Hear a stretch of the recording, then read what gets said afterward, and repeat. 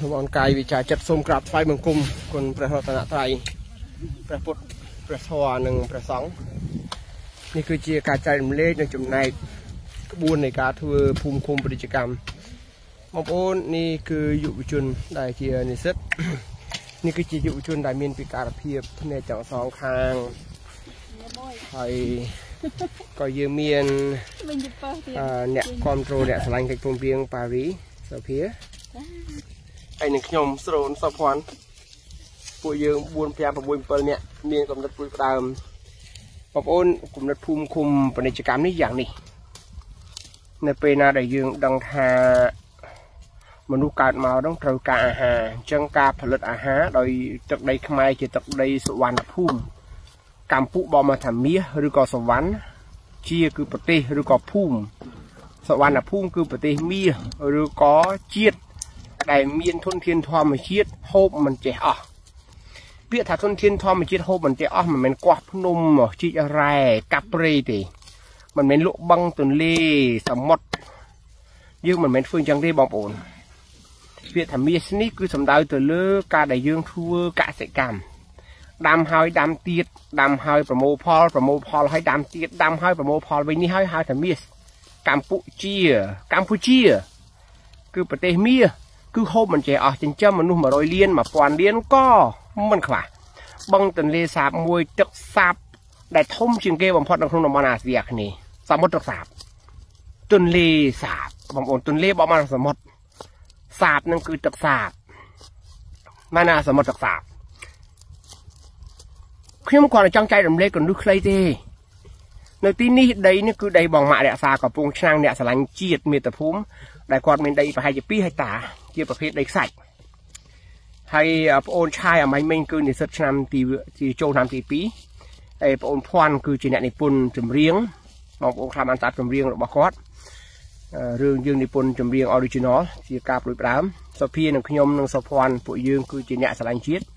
អ្វីដែលពួកយើងកំពុងធ្វើគឺការដែលពួកយើងចាប់ផ្ដើម ធ្វើឲ្យមនុស្សម្នាក់មានឯករាជ្យគឺអ្នកមានដីជួបជាមួយអ្នកអត់ដីអញ្ចឹងយើងអត់ចាំបាច់ទៅរលុយទិញដីទេព្រោះបងម៉ាក់រក្សាកំពង់ឆ្នាំងមានដីហើយ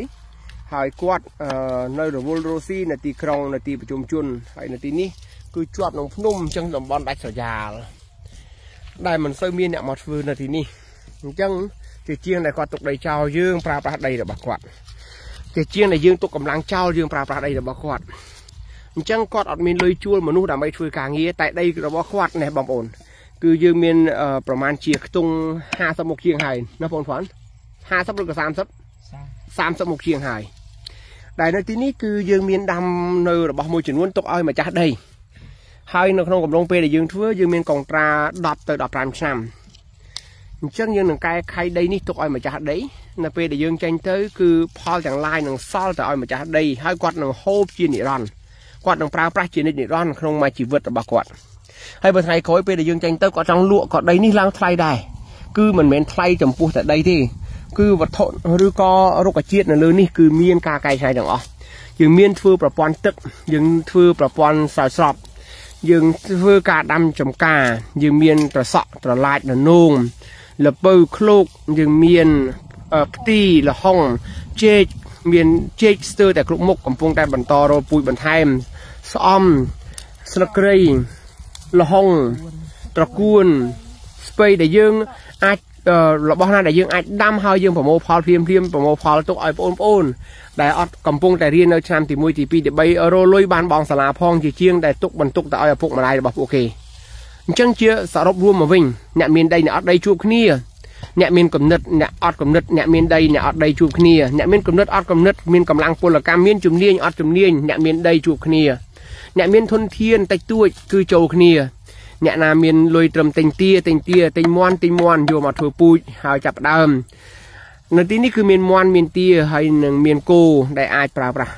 ជាផលប្រយោជន៍រយៈពេលវែងយើងមានរុក្ខជាតិដែលទុករយៈពេលវែងទុកឲ្យម្ចាស់ដីនេះក៏ជាចំណែកដែលពួកយើងធ្វើឲ្យ ដីរបស់ខ្មែរខ្មែរប្រើបងប្អូនណាសាមគ្គីបងប្អូនយល់ពាក្យសាមគ្គីទេភូមិឃុំពាណិជ្ជកម្មនេះคล้ายទៅជាគំនិតសាមគ្គីខ្មែរមានដីខ្មែរអត់ដីជួយគ្នា ខ្មែរមានដីអត់ដីមានកម្លាំងអត់កម្លាំងមានជំនាញអត់ជំនាញមានកំណត់អត់កំណត់ជួយគ្នាខ្មែរអ្នកដែលមានមធ្យមជួយអ្នកដែលខ្សោយជាង ខ្មែរដែលខ្សោយជាង ជួយអ្នកមានអ្នកដែលគ្មានជីវភាពតតែសោះអត់មានដីស្រែចម្ការអត់មានផ្ទះសម្បែងនៅ នេះហើយក្បួនបងប្អូនអើយនេះហើយក្បួនបើបងប្អូនចង់ចូលរួមធ្វើភូមិឃុំពាណិជ្ជកម្មនេះបងប្អូនគ្រាន់តែជួយរកវិធីសាស្ត្រដូចនេះបងប្អូនមានដីទេតើបងប្អូនចង់ឲ្យដីបងប្អូនត្រូវបានកែច្នៃដោយខ្មែរទេផ្ញើសារមកនៅក្នុងទំព័រសន្ធិសញ្ញាសន្តិភាពទីក្រុងប៉ារីបងប្អូនមានស្រះមានចំការ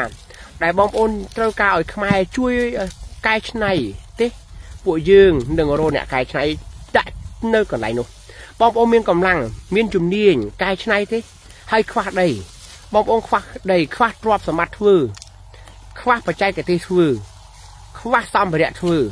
ខ្វះថវិកាធ្វើអ្នកទាំងអស់គ្នាក៏អាចផ្ញើសារមកពួកខ្ញុំថាអ្នកមានជំនាញតែខ្វះនៅទ្រព្យសម្បត្តិខ្វះដីស្រែដីចម្ការ ខ្វះស្រះខ្វះអូសខ្វះដីដែលជាប់អូជាប់ស្ទឹងជាប់ទន្លេបងប្អូននេះគឺជាគំនិត បើបងប្អូនចង់ចូលរួមលេខទូរស័ព្ទរបស់ពួកយើងគឺ097លេខ8នេះគឺ Medphone 097ហើយលេខ8ឬក៏ call មកលេខ Smart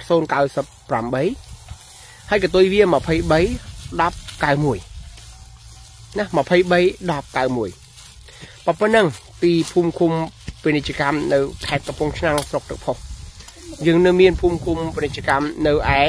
ទន្លេបាទីនៅនៅឯ ស្រុកបាទី យើងនៅមាន